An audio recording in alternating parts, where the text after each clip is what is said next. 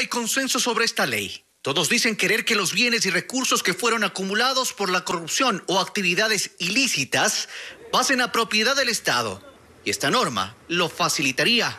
Porque hay que atacar a los autos de alta gama, porque hay que atacar a las mansiones, a las haciendas, a las jugosas cuentas y bienes de lujo en el exterior, o sea, no solamente a nivel nacional, sino en el exterior. Para ello se abrirá un proceso judicial con fiscales y jueces especializados que permitan identificar si el patrimonio de una persona no puede ser justificado y se ajusta a actos de corrupción, actividades ilícitas como narcotráfico o son, por ejemplo, de testaferros. Fuera del ámbito penal, que permitan actuar sobre bienes de procedencia ilícita o injustificada y previo a un debido proceso.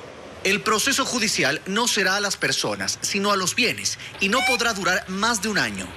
El proyecto habla de monetización, es decir, que los bienes se vendan o conviertan en recursos, en dinero, sobre lo cual el texto también define un destino. Para que se los canalice a salud, educación, a protección integral de niñas, niños y adolescentes en condiciones de doble vulnerabilidad. Si bien la ley no puede ser retroactiva, hablan de retrospectividad, es decir, que se podría perseguir en cualquier momento un patrimonio no justificado. Es decir, que obviamente una propiedad privada no puede ser consolidada como tal si su origen es ilícito o injustificado. La intención, dicen, es que el segundo debate se realice hasta diciembre para que la ley entre en vigencia lo antes posible.